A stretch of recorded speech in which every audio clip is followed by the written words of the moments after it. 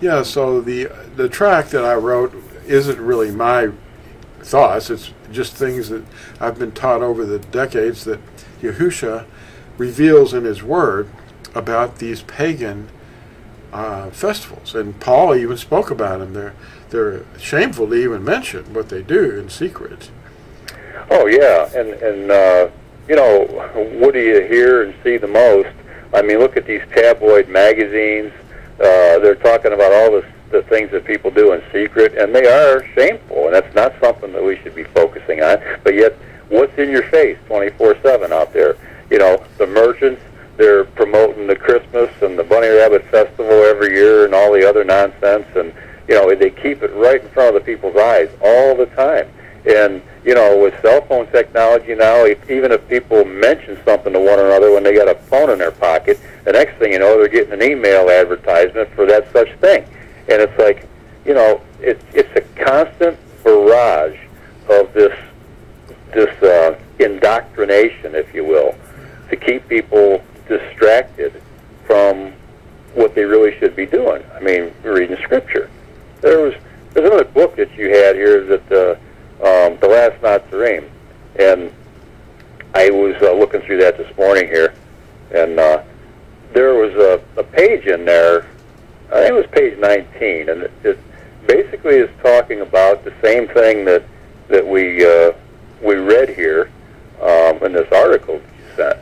And uh, if we got a minute, maybe I'll just read a little bit of that. Great. Okay, it uh, uh, starts at about the two thirds of the way down, on, or a third of the way down on the page here. It says, "Scripture calls itself the Kitab Amath, which is the Scripture of truth." Daniel ten twenty one. Now, from it we learn we are delivered only by the blood of Yahusha, and no longer is animal blood used to temporarily cover our transgressions. Now, Daniel 12 tells us about the last days when the wise will lead many to uprightness. The messenger Michael tells Daniel to seal the book until the time of the end, and many will roam, and knowledge will increase. So we're now realizing those who teach us have put up a wall to keep us away from knowledge. Now, I just mentioned about that distraction and the indoctrination that's all around us. Now, during the Dark Ages, people were kept from learning anything except what the teaching authority wanted them to know. The slightest deviations in behavior or disrespect toward those of the First Estate, which we know is clergy, were met with savage penalties. The age of information has arrived now, and we are able to communicate with one another without too many restrictions just yet. Of course, you know they're trying to they're trying to restrict the internet and everything, so you kind of got to watch what you say on there. So the linchpin of all human history is just ahead for mankind when the reign of Yahusha begins and the reign of Babel, or the beast, falls. This change will come like a trap closing on a dumb animal. Now, ambassadors have been awakened to announce the coming of Yahusha to reign, and they are the Nazarene, the branches of his teaching, and those who guard the commandments of Yahuwah. You know, the legalists, the second Exodus, the second Exodus, will be a worldwide event. Remember, the first Exodus happened over in Egypt. Well, this is going to be a grand thing. An assembly of Nazarene will be clothed in light when Yahusha appears in the space above us, and every eye will see him. Not just believers, non-believers, doubters, you know, people that are, you know, atheists and whatever every eye will see him. So, you know, Yeshayahu or Isaiah describes it for us in the 24th and 25th chapters, and that pretty much parallels Matthew 24. Um, Yahusha's arrival to reign will be to announce that Yahuwah is our deliverer. Now, I thought that was pretty. Uh, it kind of kind of went right along with what we talked about here in that article that you sent. I thought maybe that, you know, reading that that kind of give people a little bit more information as they could, uh, you know, they could process. Uh, what do you think, Lew? I do. I think that the last Nazarene are roaming the earth right now, and mm-hmm. they're they're teachers and they're getting them their wedding garments unwrinkled, you know. Mm-hmm. And, uh, we still have a ways to go, but as we get better and better, it's only through the power of the indwelling Yahusha spirit. The uh, little thing that I wanted to mention, you mentioned Yashayahu, the one they call Isaiah or Isaiah. hmm That prophet came, well, he was born like 700 BCE in that area, as was uh, Yirmiyahu a little bit before him. And Daniel read Yirmiyahu and found out how long they were going to be in captivity. Well, long before them, hundreds of years before Yirmiyahu or Jeremiah, and hundreds of years before Yashayahu, and hundreds of years before Daniel, there was a colony in what we call New Mexico now that carved a gate stone. And it's right behind me on this backdrop. And hmm I've got these cards now that show it's like a postcard and it shows the same thing and you can read the Hebrew. Well, this thing was carved before the prophets Yashayahu, Yirmiyahu, Daniel even were born. Hundreds of years. This thing was carved. It's the 10 Mhm. Commandments. And it's our way of living. It's the eternal covenant.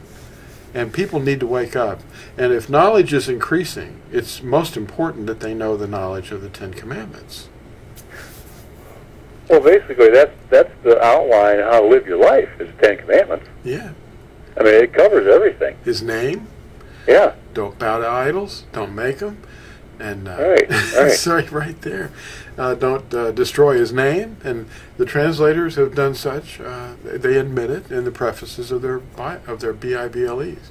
See, Right. even the word BIBLE, it's not in the text, but it's the most known word referencing itself to the writings of the Creator. Well, that that's not good. That's a fertility deity.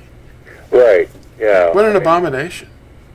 Yeah, it is, and you know, I think, uh, you know, when we when we read in Scripture about when you see, when you perceive, when you understand the abomination in the place that it shouldn't be, okay. Um, that's also another aspect. Okay, you have these temples and all this stuff. You got that Temple Mount over there on that piece of real estate that has Yahuwah's name on it. So you have that big dumb dome over there and there's a fight going on over that. Well, the abomination of desolation. When you see it, when you understand it, that's what that is. Okay, and then you, it's going to kind of open your eyes. And what we just talked about today about these words. Okay, you're taking the word of Yahuwah, okay, which is the Kathah Amath, the Scripture of Truth, and you're putting, you're stamping a title on that, on that book, and calling it the name of a pagan fertility deity isn't that also uh, the same type of thing? Yeah. Okay, I mean it's just it's just bad any way you look at it. It takes spiritual discernment to even pick up on what we're talking about. Yeah, it, it definitely does. Yeah.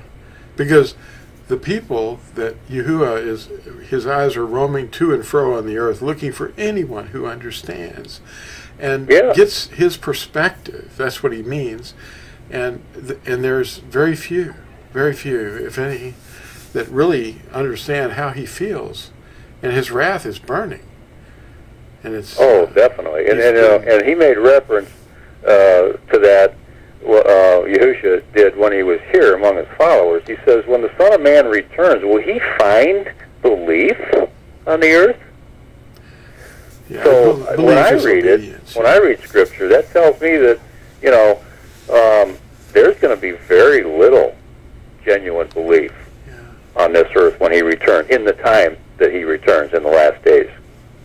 Yeah, he cursed the fig tree because he didn't see the seats, the Right, uh, the place right. where the blossoms are. And Yeah. uh, he said, "Well, I don't see any obedience here." You know, I mean, even the tzitzits that we wear, just a little Mhm. thread, a little purple thread with a little blue maybe um, on your belt loop. I mean, why can't you do that? What's wrong? It, it's just a Mhm. little little thread. He just wants you to wear them to remind you of his Torah. But they don't want to obey the Torah. The mind of the flesh doesn't want to, nor can it. But Yeah. if they obey him, the father will run to that prodigal son and say, he'll scoop him up off his feet and say, I can help you. You know, That's right. Yeah. That's right. You got to quit caring whether or not the older brother's going to be jealous. I mean, that's the older brother's supposed to be jealous Yeah. when he sees.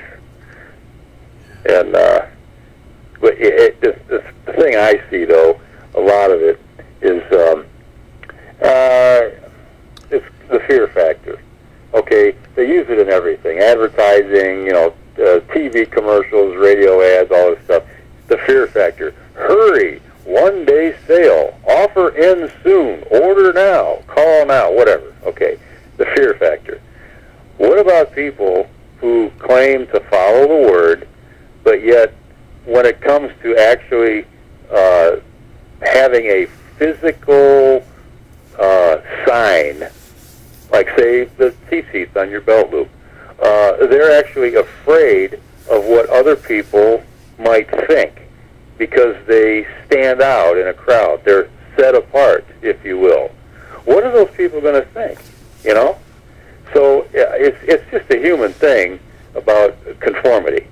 You know, people don't want to be different, that different from one another. They all want to eh, kind of be saying the same thing, sort of blend in. You know, don't be singled out.